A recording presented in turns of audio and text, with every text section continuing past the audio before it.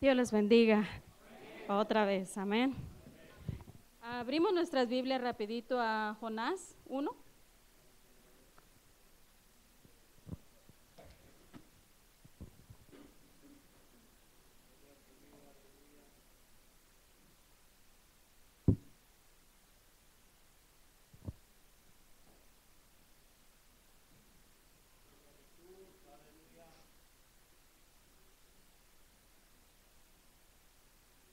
Jonás 1, vamos a leer todo el capítulo.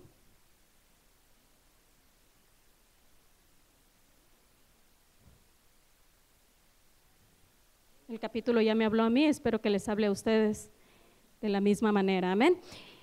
Cuando todos lo tengan, digan amén. Escucho páginas. Amén. En el nombre del Padre, del Hijo y del Espíritu Santo. Amén.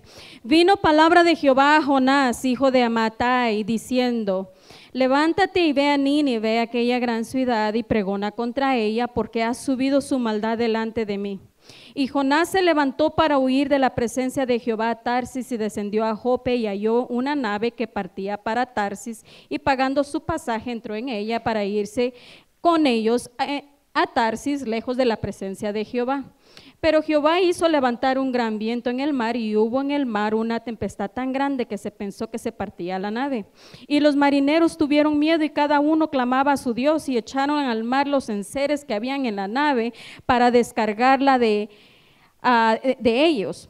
Pero Jonás había bajado al interior de la nave, se había echado a dormir. Y el patrón de la nave se le acercó y le dijo, ¿qué tienes, dormilón? Levántate y clama a tu Dios, quizá Él tendrá compasión de nosotros y no pereceremos. Y dijeron cada uno a su compañero, venir y echemos suertes para que sepamos por causa de quién se ha venido este mal. Y echaron suertes y la suerte cayó sobre Jonás. Entonces le dijeron ellos, decláranos ahora por qué nos, has nos ha venido este mal. ¿Qué oficio tienes y de, qué, y de dónde vienes? ¿Cuál es tu tierra y de qué pueblo eres? Y él respondió, soy hebreo y temo a Jehová, Dios de los cielos, que hizo el mar y la tierra. Aquellos hombres temieron gran, eh, sobremanera y le dijeron, ¿por qué has hecho esto? Porque ellos sabían que huía de la presencia de Jehová, pues él se los había declarado. Y le dijeron, ¿qué haremos contigo para que el mar se nos aquiete? Porque el mar se iba embraveciendo más y más. Él le respondió, tomadme y echarme al mar, y el mar se os aquietará, porque sé que por mi causa ha venido esta gran tempestad sobre vosotros. Y aquellos hombres trabajaron para hacer volver la nave a tierra, mas no pudieron, porque el mar se iba embraveciendo más y más contra ellos. Entonces clamaron a Jehová y dijeron, te rogamos ahora, Jehová, que no perezcamos nosotros por la vida de este hombre. No pongas sobre nosotros la sangre inocente, porque tú, Jehová, has hecho como has querido. Y tomaron a Jonás y le echaron al mar y el mar se aquietó de su furor y temieron aquellos hombres a Jehová con gran temor y ofrecieron sacrificio a Jehová y hicieron votos. Pero Jehová tenía preparado un gran pez para que tragase a Jonás. Y estuvo Jonás en el vientre del pez tres días y tres noches. Amén. Ah. Se pueden sentar. Aleluya. Fíjese que usualmente yo no le pongo nombre a las prédicas. Y sabe qué? Que a este tampoco. este, ¿Sabe por qué? Porque cuando, cuando yo le oro al Señor por la palabra, yo le digo, llena mi boca, ¿verdad? Y lo que Dios quiere hablar no necesariamente es el tema que uno trae, ¿verdad? Este, pero es bueno quedarse en el tema que Dios nos dio. Y y algo que me venía a la mente cuando yo leía eh, todo el capítulo, este, yo decía, bueno, o se es pescado o se es pez, ¿verdad? Y, cuando yo leía, yo decía, yo decía, bueno, este, yo creo que yo soy pez, porque yo tengo la capacidad de ir al mar, tragarme a alguien y traerlo, ¿verdad que sí? ¿Sí entienden lo que estoy tratando de decir? Amén. Yo puedo tratar de salvarlo de la muerte que viene para esa persona. ¿Cuántos saben que viene muerte y destrucción, hermano? ¿Verdad que estamos viviendo en un mundo como Nínive? Así está, Nínive y Estados Unidos y el mundo entero están igualitos. Y Jehová dijo, ya subió su maldad hasta aquí y ya no puedo más con ellos. Ve y liles que yo voy a destruirlos a cada uno. Este, ay, permiso hermano, es que no los miro. Y, y los, lo manda a pregonar a aquella gran ciudad y dice que él entró, eh, bueno, no entró, no, espérese, no fue todavía, no me voy a adelantar. Dice que él se levantó y cuando usted lee, y se levantó Jonás, pero cuando lee el otro pedacito, para huir de Jehová. Sí se levantó, pero para huir. Él no sé, él no dijo, eso no me gustó para nada, no. Pero yo, me, yo, yo reflexiono en la mentalidad de este hombre. Era un hombre que tenía un llamado. En, que, en, en, en donde él creyó que yéndose a España iba a huir del Señor. Pero él lo creyó en su corazón que sí, él iba a huir del Señor, porque aquí lo dice, y, y, si usted sabe, Jonás, el libro de Jonás fue escrito por Jonás mismo. Y él lo escribe y dice, y dice, se levantó para huir de la presencia de Jehová. Esa fue la idea de él en su mente. Él decía, me, voy para, uh, para Tarsis, descendió a Jope primero, halló una nave y para ir, fíjese todo lo que hizo, para poder huir de la presencia del Señor. Y es bueno que Él nos dé, nos dé la lista de todo lo que hizo, ¿verdad? Para que veamos todo lo que Dios tenía que hacer para traerlo de vuelta a donde Dios le había dicho que fuera. Y, fíjese que yo tomaba poquito de, entendimiento y yo decía, una, o, o Dios hace cosas extraordinarias para hacernos hacer que hagamos lo que Él dice, o, o simplemente nosotros nos vamos de la presencia del Señor por completo, ¿verdad? Y yo decía, pero ¿cuáles, cuáles son las, ah, las características de una persona que se va de la presencia del Señor? Cuando yo le digo de la presencia del Señor es, que usted ya no lo mira aquí presente. Amén. Y, el, y el, primer capítulo me muestra ciertas características de una persona que sale de la presencia del Señor y hay ciertas cositas que yo encontré. Y dice, nos vamos de la presencia de Dios y pensamos que todo está bien. Eso fue lo que pensó Jonás, ¿sí o no? Él, él, dijo, me voy de la presencia, compro el boleto, me voy, me meto en un barco, me meto hasta el fondo, me pongo a dormir y se acabó el problema. No me va a encontrar. Ahí no me encuentra, y menos si me voy hasta España. Ahí no me va a encontrar Jehová, ya, ahí mero. Entonces, cuando nos vamos de la presencia de Dios, pensamos que todo está bien. Lejos de la presencia del Señor, entramos en una forma de sueño. La palabra del Señor aquí me dice que Jonás se fue al fondo y se fue a qué? A dormir. Imagínese. Y el pastor leía el domingo y decía que uh, en, en 1 Corintios 11:30 muchos están enfermos y otros que duermen. ¿Verdad que sí? Alejado de la presencia del Señor. Está durmiendo. Y encontraba yo varios versículos acerca de los que duermen y decía, mientras dormían vino su, decía en Mateo 25, 13, 25, y dice, cuando venga nos halle que durmiendo. Cuando venga, ¿quién? ¿Quién va a llegar que nos va a encontrar durmiendo? Jesucristo mismo. So hay una condición de sueño ¿verdad? Que Jonás cayó en ella. Porque dijo, esta está, me quedo dormido. Qué bueno que pudo dormir en medio de la tormenta. Él estaba durmiendo en medio de la tormenta. Pero ¿sabe por qué? Porque el que está dormido ni cuenta se da que está en una tormenta. No se da cuenta, él no sabe que está en una tormenta. El, el hijo pródigo, él no sabía que estaba en una bajeza tremenda. Hasta que levantó su mirada estaba dormido. Él no sabía qué era lo que le estaba sucediendo. Él no se miraba en la porquería que se estaba moviendo. Él simplemente sabía que, que, ahí estaba. Soy parte de, estaba durmiendo. Hay una condición de sueño aún en el creyente, ¿verdad? Y yo decía, ¿qué pasa cuando uno está durmiendo? y una de las cosas que yo hallé personalmente, pueden llegar y robarte, ¿verdad que sí? Cuando estás durmiendo te roban, ¿sí o no? ¿Verdad? Eh, ah, yo uso el tren y el bus este, para ir al trabajo y no me gusta quedarme dormida en el tren. Aunque me levanto temprano, no me quedo dormida en el tren. Porque yo digo, me roban mi cartera, ¿verdad que sí?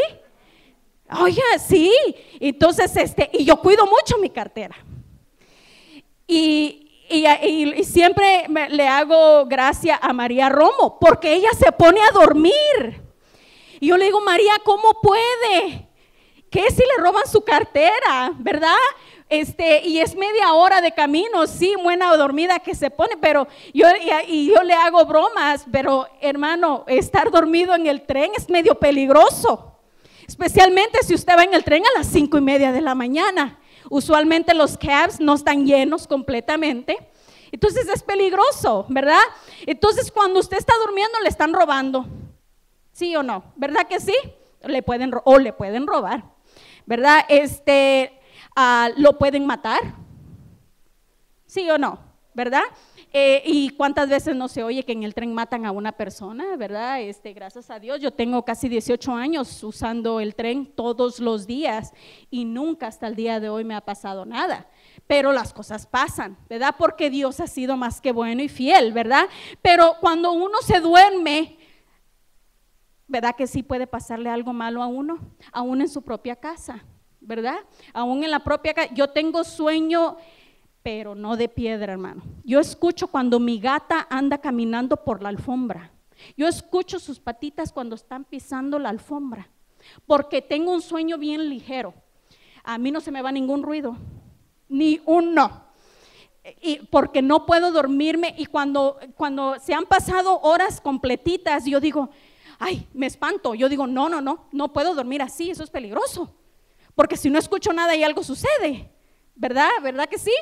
Este, sobre todo si mi mamá no está en casa, porque hay veces que mi mamá se va con mi hermana o mi hermano y está la casa sola, todo debajo, yo duermo en los dormitorios de arriba, y yo digo, que si algo pasa, ¿verdad?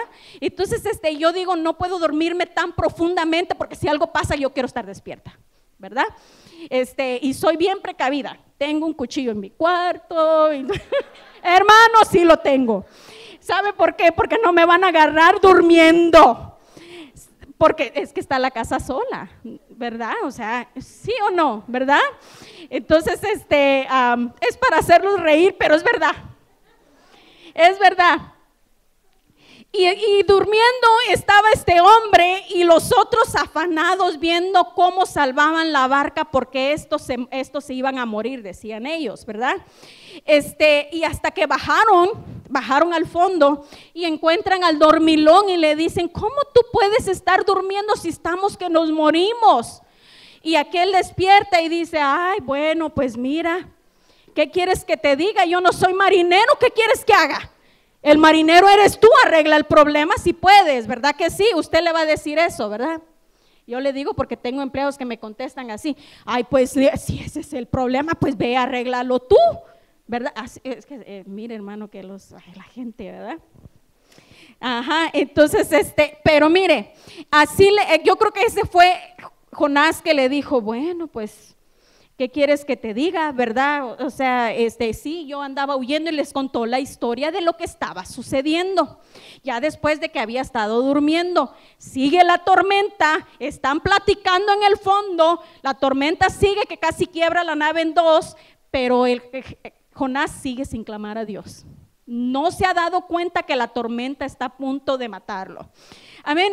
Entonces después viene y dice, hasta que llega la tormenta, aún en medio de la tormenta, Jonás no se acordó de Jehová, pero entonces es cuando tú empiezas a decir, bueno, como ya está la tormenta, no sigo sin clamar a Jehová, vengo y empiezo a depender del hombre. Porque Jonás le dijo a ellos, hagan conmigo lo que ustedes quieran, échenme overboard, tírenme al mar, dependiendo del hombre, ¿verdad? Él ya no, él no clamó a Jehová aquí. Él no le dijo, Jehová, ¿qué quieres que yo haga? Él no dijo eso. Él dijo, él dependió del hombre y le dijo, tírenme al mar. Ahí me voy a ir a morir, no importa. Él lo sabía que ahí se iba a ir a morir, pero dijo, para que a ustedes no les venga daño por mi causa. Él sabía que por su causa estaba sucediendo esto, ¿verdad? Entonces, eh, entonces sufrimos las consecuencias de nuestra desobediencia. ¿Verdad? Y usualmente, hermano, la desobediencia trae muerte espiritual y aún, si nos descuidamos, esta muerte física. Porque podemos morir físicamente también, ¿verdad? Por nuestra desobediencia. Pero en este caso, esta desobediencia es, eh, eh, es una muerte espiritual porque usted está dormido, usted ni cuenta se ha dado en dónde anda, está muerto espiritualmente. ¿Verdad? Entonces, este, por eso era que Jonás no podía levantar la cabeza y decir, ay Jehová, ¿qué hago? ¿Verdad? No sé qué hacer. Tú eres eh, este, el Dios de mi salvación. Él no dijo nada de eso. Simplemente él estaba ya aceptando que él iba a morir en ese, en ese, eh, cuando lo echaran al agua, ¿verdad? Este, yo nunca he estado en medio del agua, pero eh, cuando uno ve las películas, eso se ve feo, ¿verdad? Y las tormentas que se abren en, el mar, ¿verdad? Este, que las navecitas parecen de juguetito porque el viento y el mar las hace como, como que si fueran de papel, ¿verdad? Las maravillas de Dios, ¿verdad? Este, vientos que no se pueden contener. Dios siempre tiene un plan B para nosotros. Él tiene el plan A, el plan B, el plan C, de la A a la Z. Cuando Dios tiene un plan para nuestras vidas, no hay manera de que nosotros nos escapemos de ese plan de Dios. No lo hay. Él va a buscar, ok, no me, eh, voy a buscar el este y voy a buscar el otro y este, hasta que se cumple lo que tiene Dios en mano para usted y para mí. Amén. No hay vuelta de hoja en eso. Y eso lo entendió Jonás después. Entonces, este dice, dice que echaron suertes para, para este hombre, fíjese. Y no que, la, no que echar suerte sea bueno. Es, no, la Biblia no le está diciendo, vaya y eche suertes porque eso es bueno. No, la Biblia no le está diciendo eso. Estas son cosas eh, específicas y especiales que Dios permitió en este momento para que se cumpliese el cometido que Dios tenía para Jonás. Amén. Dice, y, y, él les contó y dijeron, y fíjese, algo que me llamó la atención es de que al principio los, ah, los, ah, los de la nave, eh, no me acuerdo cómo se llaman, este, ellos, ellos primero dijeron, estaban clamando a sus dioses. Pero mire, Jonás ni cuenta se dio y ellos se salvaron. Porque clamaron a Dios, a Jehová de los ejércitos y, hasta, y hasta le presentaron holocausto y todo a Jehová. Imagínense, Jonás ni sabía que estos se habían salvado. Yo digo espiritualmente, salvación espiritualmente. Porque ellos ya después dice que levantaron, levantaron sacrificio a Jehová. Porque creyeron el Dios que Jonás les había dicho, yo creo en el, en el Jehová Dios de los cielos y la tierra. Y ellos dijeron, ah, ese le sirves. Ah, pues a ese le sirvo yo también ahora. ¿verdad? Y porque dice que cuando Jonás se fue echado al agua, dice que el, el, mar se calmó y les perdonó la vida a los que estaban dentro de la nave. ¿Verdad? Entonces nos acordamos de Jehová ya cuando, cuando la tormenta nos tiene hasta aquí, ¿verdad? O cuando ya tocamos fondo, que fue lo que le pasó a Jonás. Entonces este dice, y es cuando Dios toma las medidas más extremas para traernos a nosotros de vuelta, de vuelta a donde tú debiste de haber estado. Este, y, y por eso yo, yo decía al principio, o se es pescado o se es pez. En este caso Dios manda un pez grande, la Biblia no dice ballena, ¿verdad? Aunque se puede creer que sea una ballena o fue un animal específico que fue formado como Dios había dicho desde un principio, nomás para eso, ¿verdad? Y fíjese que el pez grande se traga a Jonás, se lo lleva eh, a su vientre y está ahí por tres días y tres noches. Y después dice que el pez lo va y lo vomita en tierra. Me supongo que lo vomitó cerquita, porque si no, otra vez Jonás se vuelve a ir lejos, ¿sí o no? Entonces, si, si la, pobre ah, ah, pez estuvo navegando por tres días y tres noches, quiere decir que Jonás ya andaba lejos, ¿sí o no? Pues hagamos cuenta, si, si, la ballena anduvo ahí por tres días y tres noches, anduvo Jonás en ella, quiere decir que ya andaba bastante lejitos este hombre. A lo mejor ya iba llegando por allá a Inglaterra o algo. Y entonces la ballena tuvo que dar mucha vuelta para regresarlo a donde él tenía que haber ido. Y estoy seguro que lo, cuando lo vomitó, lo vomitó bien cerquita de Nínive. Es más, a lo mejor de aquí a la 63. Es que si no, Jonás se le vuelve a ir. ¿Verdad? Pero a lo mejor no. ¿Sabe por qué?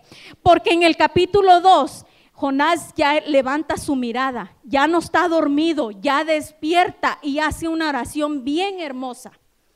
Y dice, me llevaste hasta las profundidades, a las entrañas. Fíjese que Jonás se dio cuenta que él, dijo, en el, ah, no me morí en el mar, pero me voy a morir de comida de pescado, ¿verdad? Porque estaba en el vientre. Tres días y tres noches es un tiempo bastante largo. Bastante largo donde, ¿verdad? Ah, eh, si usted ha visto pinturas que artistas han pintado sobre Jonás dentro del vientre, lo ponen nadando en el agua, ¿verdad? En la barriga del pez. Eh, y, eso es lo que el artista mira. Y, cuando usted lee la Biblia, usted se, figura cómo, cómo, estaría Jonás, ¿verdad? Los niños, hay veces que los han pintado Jonás sentado con una llamita en medio, ¿verdad? Este, los niños en su mentalidad de niño, ¿verdad? Los artistas en su mentalidad de artista lo ven de otra manera. Pero yo, lo, yo creo que sí, estaba en el agua, ¿verdad? No había seco donde él estuviera, ¿verdad? Estaba metido en algo frío, ¿verdad? Donde había fuego, ahí, ahí no hay fuego para que me calienten los huesos, ¿verdad? Entonces él estaba metido casi en una tumba, ¿sí o no? ¿verdad? Él fue enterrado en vida dentro de un pez grande solamente porque Dios tenía un plan para él y le tenía que proteger la vida. ¿Verdad? Y, y, yo me, y cuando, y esta predicación me eh, yo lo, tengo desde hace meses, y cuando vino el hermano un domingo a dar su, su, su lo, cuando da su testimonio. Cuando da su testimonio y él decía todas las cosas que se suscitaron después de que él se convierte a Cristo, ¿verdad? Este, y yo decía, todo es un, es un domino effect, ¿verdad? Que todo va cayendo en su sitio, porque cuando Dios tiene un plan, Él va a hacer lo que sea para que, ese plan se cumpla. Y si el plan tiene, que tiene Dios, eres tú en el picture, make sure that you're going to be in the picture. No hay vuelta de hoja. Cuando Dios quiere que seas tú, vas a ser tú. Aunque a Dios le toque irse de la A a la Z, vas a ser tú. No va a cambiar eso. Pero también Dios, e, pero la Biblia me dice a mí, ten cuidado que nadie robe tu corona. Quiere decir que también eso puede ir para otra persona. Si yo no quiero, Dios dice, no quieres, hay otro que sí lo quiere hacer, ¿verdad? Entonces no dejemos que nadie nos robe nuestra corona. Eso es para mí, ¿verdad? Yo quiero hacer eso. Yo quiero trabajar en eso. Jonás no quería y se fue. Pero Dios dijo, no, es que el que tiene que ser es Jonás. ¿Verdad? Y todavía después, ¿verdad? Y, si seguimos leyendo, porque el, libro de Jonás es nada más tres o cuatro capítulos, no es mucho, si tiene tiempo, léalo. Este, y él no, él no, él todavía después, todavía sigue haciendo berrinche. ¿Cómo somos berrinchudos nosotros los cristianos? ¿Verdad? Somos bien ah, consentidos, porque sabemos que Dios nos tiene en su mano, nos creemos de que podemos hacer nuestros, nuestros tantrums, ¿verdad? Este, y, viene, viene Dios y lo guarda. Hay veces uno dice es una cárcel, es una tumba, pero no, Jonás estaba guardado, su vida estaba guardada. Él no iba a ser muerto, ¿verdad? Él no lo sabía. Y viene, viene el pez y lo, y lo, lo vomita, ¿verdad? Y, uno, y, yo me quedo sorprendida porque una vez me acuerdo yo que el, el, pastor dijo, bueno, la fe me dice que aunque Jonás hubiera tragado la ballena, también uno tenía la fe en eso, ¿verdad que sí? Porque por fe nosotros creemos que un pez grande se tragó a Jonás, lo guardó por tres días y tres noches y después se lo llevó a donde tenía que haber ido desde un principio. Simplemente el camino se le hizo más largo, ¿verdad? Porque a lo mejor el camino que a él iba a tocar uno o dos días le tomó casi, ¿cuántos? ¿Cuatro? ¿Cinco días? Porque no sabemos qué tan lejos andaba este hombre ya. Entonces este, vemos que Dios tenía un plan específico para Jonás y Jonás lo tenía que cumplir desde el principio. Desde las nueve de la mañana debería de haber llegado a Nínive y él no llegó sino hasta el jueves de la próxima semana. ¿Verdad? ¿Por qué? Porque él dijo, no, a mí no me interesa este, eh, y menos irles a predicar a esos bonches de pecadores. Eso es lo que él dijo. Él no quería predicarles a ellos porque dijo, es que tú eres un Dios misericordioso y los vas a salvar y eso yo no lo quiero. ¿Verdad? Él no tenía compasión. No hay compasión en muchos de nosotros, ¿verdad? Este, y yo lo digo por mí, yo no lo digo por usted, yo lo digo por mí, ¿verdad? Porque muchas de las veces este, uno tiene que hablarle a la gente, ¿verdad? Y, yo, yo a veces le hablo a la gente y, yo digo, pero ¿qué si no digo lo que ellos están esperando escuchar? ¿Verdad? Y eso fue, lo que Jonás pensó. les voy a decir algo y van a creer. No, no voy. Porque si van a creerte, no. ¿Verdad? Él sabía que lo que él iba a hablar sí iba a causar un impacto y por eso no lo hizo. ¿Verdad? Entonces yo digo a veces que uno le quiere decir algo a una persona y dice, ¿y qué si eso no es lo que esa persona quiere escuchar? ¿Verdad? Y por eso es que yo oro y digo, yo pon palabras en mi boca, ¿verdad? Que no hable lo que uno quiere porque muchas de las veces uno habla mucho y, las cosas que uno dice no son siempre eh, acertadas, ¿verdad? Pero cuando por medio del Espíritu Santo nosotros dejamos que el Espíritu Santo llene nuestros labios, ¿verdad? Nuestra boca, entonces este, llega al corazón de esa persona y esa persona entiende, ¿verdad? Y recibe el mensaje. ¿Lo va a recibir ahora? Sí, primeramente Dios que sí. A lo mejor lo reciba en tres años, ¿verdad? A lo mejor no, nunca lo quiera, ¿verdad? El mensaje de salvación, a lo mejor esa persona nunca lo vaya a aceptar. ¿Verdad? Pero nosotros eh, damos el mensaje, el mensaje de salvación para esa persona, ¿verdad? Entonces, este, y yo, y yo, yo miraba, y miraba a Jonás y yo decía, pero cuánto amor de Dios por este hombre, ¿verdad?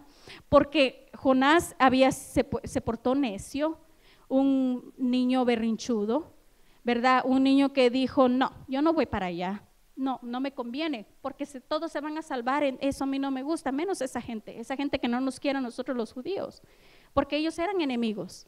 Entonces era, algo en contra, ¿verdad?, de la mentalidad de un judío, ¿verdad? Ir a predicarle, presentarle a un Dios que pertenece a los judíos, de acuerdo a los judíos, ¿verdad? Y se lo presentar a un país que no quería saber nada ni de los judíos, menos de un Dios judío. ¿Verdad? Entonces, este, y, yo veía y yo decía, ¿cómo aprende uno de, lo que este hombre hizo, ¿verdad? Para no hacer la voluntad de Dios. ¿verdad? Y, yo a veces, a veces si usted pasa, si usted pasa por largo el ministerio que Dios tiene para usted, alguien más lo va a agarrar, porque siempre hay alguien que está dispuesto. ¿Verdad? Y si usted no lo quiere, pues entonces dice Dios, bueno, pues si no lo quiere, pero también Dios va a decir, no, aquí me voy a quedar hasta que Él lo tome y lo haga porque para Él es. ¿verdad? Dios pudo haber dicho lo mismo de los discípulos y de eso. Hermano, de los discípulos y de los discípulos ninguno eh, tenía una preparación ajustable a lo que nosotros pensamos que debería de ser un predicador, ¿verdad que no? Ninguno de ellos. Eh, pero eh, de, esos Dios hizo una, una eh, hermano, fundó la iglesia. De, de, de, ellos se levantó la iglesia primitiva. Fíjese, y ninguno de ellos tenía una preparación. Y ahora nosotros vamos al instituto bíblico, ¿verdad? Gracias a Dios por los que van al instituto bíblico. Este, y uno aprende, ¿verdad? Y eso es bueno. Y eso nos prepara para poder hablar a las personas, a las almas, ¿verdad? Pero estos hombres no tenían nada. Y yo decía, es que Dios no veía, ni Jesús mismo no veía lo que Él era aquí ahorita. Él estaba viendo lo que ellos iban a hacer en 20 años, 10 años, 5 años. Es lo que Dios ve en mí. Dios no veía lo que yo era hace 8, 15 años. Eso no lo veía Dios. Él veía lo que iba a hacer más adelante. ¿Verdad? Por eso es de que cuando nosotros criticamos a una persona, ay, mira cómo viene esto, mira cómo ve. Entonces, hermano, yo no sé cuál es el plan para esa persona de parte de Dios. Hermano, a lo mejor ese va a ser un futuro evangelista. ¿Sí o no? Entonces, y, pero yo vengo y lo empiezo a matar con mi boca en lugar de alimentarlo, ¿verdad? Entonces, yo no le estoy diciendo venga vestido como usted quiera. No, yo no estoy diciendo eso. Pero hay gente que nos visita, que vienen vestidos de cierta manera, a nosotros no nos parece. Hermano, no critique, ore por él. hermano, hay un plan para ese hombre o esa mujer de parte de Dios.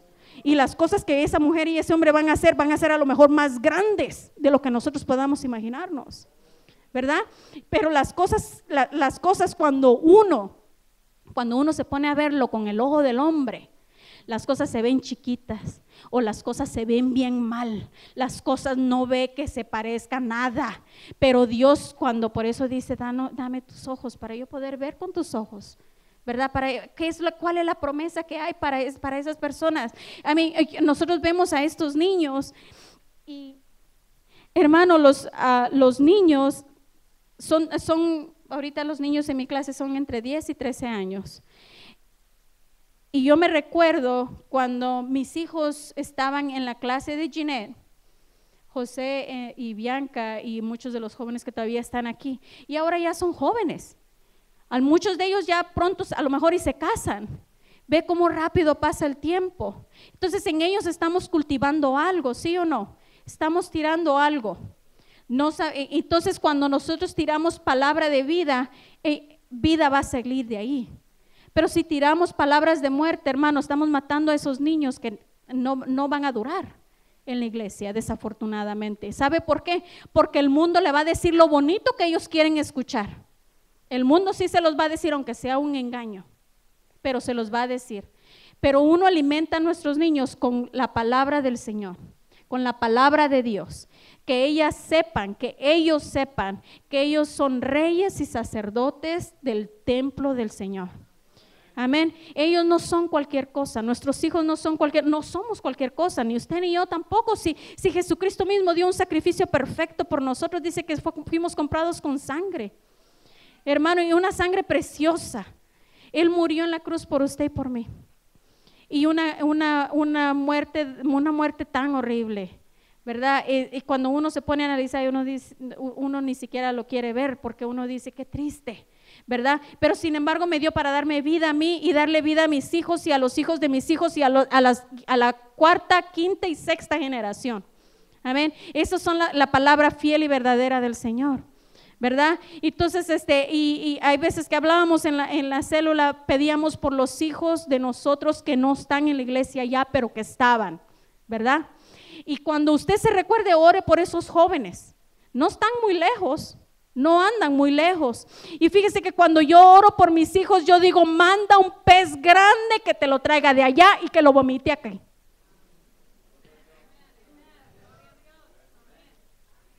¿Sabe por qué?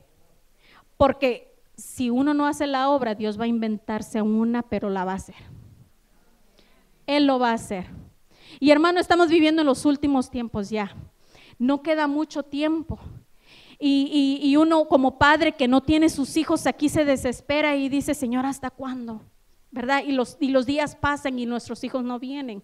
¿verdad? Y Señor, tráelos. Y uno está pidiéndole a Dios y la iglesia está orando, yo no digo que no, pero uno dice, Señor, entonces cuando yo me desespero, yo digo, Señor, manda un burro que le hable, los burros hablan, hermano. La Biblia dice que un burro habló, ¿verdad que sí? Amén. Entonces, este, mándales un burro, mándales un cuervo para que los alimente, ¿verdad? Entonces, hermano, en la Biblia los animales han sido bien utilizados, ¿sí o no? Entonces yo digo, Señor, ya para mi última, esa fue mi última oración, manda un pez, manda una ballena bien grande, grande, que nada la pueda detener, tráigalos y que los vomite aquí enfrente, mira allá afuera a donde usualmente estaciona mi carro. Para que no puedan irse muy lejos, para que tengan nada más que meterse por la puerta, hermano. Amén. Entonces, este, y esa es la petición de nosotros como padres, ¿verdad? Los que no tenemos a nuestros hijos aquí con nosotros, los que ustedes que tienen hijos aquí en la iglesia y que todavía están en la iglesia, hermano, yo estaría danzando y saltando y agradeciéndole a Dios por eso. Hermano, no sabe qué privilegio tan grande es el tener a su hijo aquí metido en la iglesia, trabajando en la obra del Señor. Y si no está trabajando, no importa. Hermano, si no todos fuimos llamados para, para venir a predicar. Hay otros ministerios que nuestros jóvenes tienen. Y mire que aquí hay mucho artista, predicador, joven que habla, que ministra allá afuera. Hermano, dele gracias a Dios por su hijo que está aquí. Fíjese que cuando mis hijos estaban aquí, yo le decía gracias Señor, porque cuando decía el comercial, ¿sabes dónde están tus hijos en la televisión? ¿Se acuerda de ese comercial? ¿Sabe usted dónde están sus hijos? Decía, sí, está en la iglesia. Eso era después, hermano. Y ahora mi hijo tiene 25 años.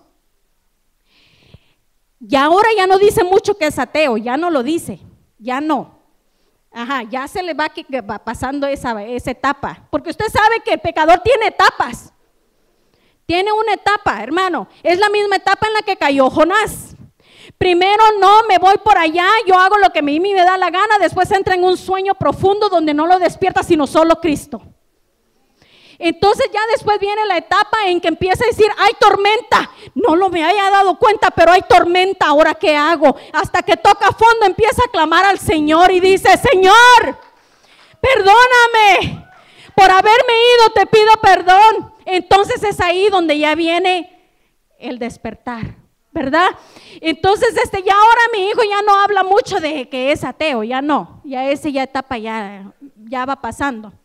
Entonces digo yo, espérate ahora que te empiecen a, torcer el cuellito, espérate. Yo estoy esperando. Hermano, yo a mí yo no yo no me engaño yo sola. Las cosas sin Dios no son buenas. Nada le va a ir bien en el mundo. Yo sé que pronto se le va a empezar, mire, a torcer el cuello y va a empezar a decir, "Ay, ay." Entonces va a empezar a decir, "Se me hace que hay tormenta afuera."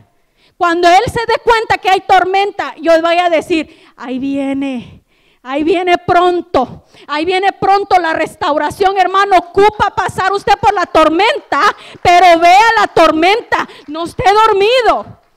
¿Verdad? Hay veces que en estos días que hubo una tormenta bien fuerte, ¿verdad? Me despertó el ruido de los rayos, pero oh, es que a mí un gato me despierta, ¿verdad? Entonces los rayos estaban, pero se alumbraba todo y, había caído un rayo al árbol también de mi casa. Entonces yo me asomé y dije, si le cae un rayo, yo salgo corriendo pues hermano, que no le dije que yo era precavida, que no me quedo dormida profundamente cuando cayó la tormenta, yo me levanto y yo digo, no vaya a caer un rayo en el árbol, el árbol se caiga y caiga sobre mi dormitorio y en el dormitorio de mi hija, ¿verdad? Entonces yo estaba ahí esperando a ver a qué hora caía el rayo, el rayo nunca cayó. Y yo decía, ay, me la perdí. Gracias a Dios, hermano, no cayó ningún rayo dentro del árbol, pero estaba bien fuerte y pero se fue la luz dos veces pegó y tronó la casa. Yo creo que pegó en alguna parte cerca porque tronó todo dentro de mi casa. Y mi hijo allá dormido. Y yo, ¿cómo puede en medio de la tormenta estar durmiendo? Y digo yo, ¿quién fuera un niño, verdad? Y el viernes hablábamos en la célula de quién fuera como un niño, ¿verdad? Este, y, el, uno de, de los hermanos en la célula explicaba, es que el ser como un niño es darte todo sin esperar nada. Así es un niño. Un niño confía en usted completamente. Ese niño no le importa. Entonces, mi hijo se va a dormir sabiendo que todo está bien. ¿Verdad que sí? Porque es un niño. El niño no se preocupa como yo con muchas cosas en el cuarto. En caso que algo pase, estoy preparada. ¿Verdad que no? Porque es un niño. El niño duerme confiadamente. El adulto está, tiene que estar, mire, despierto, atento. La Biblia me dice, esté atento. ¿Verdad? ¿Por qué? Porque el hombre, eh, eh, para, para, hay que atar al hombre fuerte antes de que sea robado, ¿verdad? Hermano, yo soy fuerte. El diablo va a tener que amarrar, venir y amarrarme bien amarradita para que me haga algo. Que el Señor lo reprenda en el nombre del Señor. ¿Sabe por qué? Porque ya no tan fácil se lo, se lo, se lo envuelve a uno, ya cuando uno ha madurado, pero a un joven sí lo hace. Y por eso es de que uno tiene que estar pidiendo por nuestros hijos, por estos niños. Hermano, estos niños así son engañados. Hay mucho suicidio en niños de 8, 9 y 10 años. ¿Cuándo se ha visto eso, hermano? Niños matándose a esa edad. Que porque la vida ya los cansó a los 10 años. Hermano, esas son cosas de sorprenderse. Es el diablo que está desesperado, que se quiere llevar a todos por el camino, porque está arrasando con toda una generación. Hermano, está engañando, está engañando hombres, mujeres, está engañando a las mujeres para que aborten. Eh, eh, yo leí estadísticas y yo no sé quién hace tantas estadísticas, cómo tienen tiempo para tanta estadística, pero la estadística dice que va a haber en 20 años una generación perdida de seres humanos en el planeta, de todos los abortos. Una generación que se va a notar ¿Sabe por qué se va a notar? Cuando los hombres quieran casarse, no va a haber mujeres. Cuando las mujeres quieran casarse, no van a haber hombres.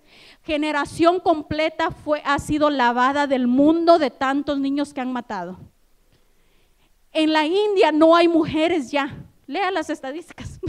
Lea las estadísticas. Dice que ya no hay mujeres, porque hace 20 años las mataban a todas. Nacían y las ahogaban, las ahorcaban a las bebecitas o las regalaban o las tiraban debajo de un árbol a que los animales se las comieran. Ya no hay mujeres en la India, no hay. ¿Me entiendes? Entonces, eh, ve el mundo tan loco. Lo que estamos viendo hoy, hermano, es lo que veía, peores cosas hay ahora que a lo mejor había en Nínive y el Señor se cansó de ellos. Y es, es la misma condenación que hay, hay pronosticada para este mundo. Eso no va a cambiar. La palabra de Dios dice que todo va a pasar menos su palabra. Y lo, y lo que Él dice es de que los tiempos están, se están acercando, se están cerrando, ¿verdad? Este, dice que el, reloj ya se está volteando, ya va llegando el tiempo. Y yo, y yo, y yo le digo al Señor, permíteme ver tu rostro. Dame el privilegio de conocerte cara a cara porque ya lo conocemos espiritualmente, ¿verdad? Pero cara a cara, dame el privilegio. El salmista decía que yo pueda entrar en tus atrios, ¿verdad? Y ver tu rostro. Ese debe de ser nuestro, nuestra oración, hermano. Déjame entrar a tu casa, a entrar a tu, a tu santuario y verte cara a cara y convivir contigo y hablar contigo Imagínese qué privilegio tan grande cuando eso llegue, o imagínese qué cosa tan seria va a ser si usted no se va, hermano, y nos quedamos. Hermano, vamos a entenderlo, los que nos quedamos, lo vamos a entender, ¿verdad? Los que se vayan ya se fueron. Hermano, y, hay mucho engaño en eso. el, diablo está engañando la mente del ser humano también para que nadie crea en un arrebato de la iglesia. Hay mucha mentira que se está levantando para que el mundo, cuando los cristianos se vayan, digan, los extraterrestres se los llevaron. Es, es, una mentira del diablo, hermano. Es una mentira para cubrir, no, para que toda la gente siga dormida pensando no pasa nada. Y ahí está la tribulación y la gran tribulación a todo lo que da, pero el hombre va a creer que no pasa nada, porque están siendo engañados están siendo adormecidos en un engaño. Amén. Entonces, este, yo, yo, yo veía, y voy a terminar ya, y veía yo en, Jonás un poquito de, lo que es, de lo que somos nosotros, ¿verdad? Este, cuando nos alejamos de su presencia. Este, y, y, me, y me, impactó bastante el leer cómo los diferentes ah, procesos que tuvo que pasar Jonás hasta entender en dónde había caído y lo que ocupaba hacer. Amén. Entonces, este, y, yo decía, ¿cómo le puedo decir a esto? Que Dios toma medidas extremas y Dios toma medidas extremísimas para hacer su plan con usted y conmigo, para hacer el plan que tiene para nuestros hijos. En el momento en que usted aceptó al Señor Jesucristo como su Salvador, sus hijos entraron en el plan también. Eso es lo que usted no sabía a lo mejor, pero si no lo sabía, ya lo sabe. Porque cuando usted aceptó a Cristo, su familia entró automáticamente, sus hijos entraron en un plan especial donde usted ya no puede seguir orando si no está orando por sus hijos también. Ya no puede pasar eso por alto, porque ya sus hijos van incluidos en eso. Entonces ya entran nuestros hijos a tener que pelear por su salvación igual. ¿Verdad? Pero ahorita que están pequeños es mi trabajo orar por ellos. Y yo oro por cada uno de los niños de mi clase, ¿verdad? Que, Dios les ilumine su mente y que no sean engañados, ¿verdad? Y que, y que cuando crezcan, ¿verdad? Y hablamos siempre en la, escuela dominical con ellos, ¿verdad? Y yo les digo, un día ustedes se van a casar. Uh, dicen ellos, no, yo nunca. Y, claro, un niño va a decir eso. Pero mire, hermano, los años pasan tan rápido. Eh, a mí, Alma se me casó bien jovencita. Ajá, ya cuando sentí yo ya estaba chillando porque se me había ido. Ajá, sí, hermano. Y cuando se fue mi hijo también le lloré, le lloré, le lloré y no le quebré el corazón, me dijo, me voy. ¿Verdad? Este, yo digo, tiene, tiene que hacer su vida, tiene 25 años, es su decisión, ¿verdad? Este, a lo mejor porque no quería seguir escuchando palabra de Dios ahí en la casa, no sé, a lo mejor eso fue, me supongo que eso le molestó, no sé, bueno, pues si le molestó, ¿qué puedo yo hacer? ¿Verdad? Llorarle que se fue, sí, le lloré como dos semanas, ya me pasó, ¿verdad? Y lo mismo me dice la otra, ay, cuando me vaya vas a llorar, le digo, sí, dos semanas también y ya se me pasó. Así es, hermano, ¿verdad? Así es. Yo como madre le lloré dos semanas, nadie más le va a llorar más. ¿Sí o no? ¿Verdad? Entonces, ¿por qué? Porque es un proceso de la vida. Los hijos se van. Uno quisiera que se fueran de la casa casados, pero si ellos no quieren, tampoco era que lo iba a seguir manteniendo a él, ¿no? O sea, es un hombre que trabaje, que se mantenga, que pague sus biles. Es, eh, eh, eso es parte de la enseñanza que le tenemos que dar a nuestros hijos. Amén. Nuestros hijos no deben de ser unos mantenidos, hermano. Pero eso no es para mí. Que Dios le bendiga mucho, mucho. Los amo en el amor del Señor. Aleluya.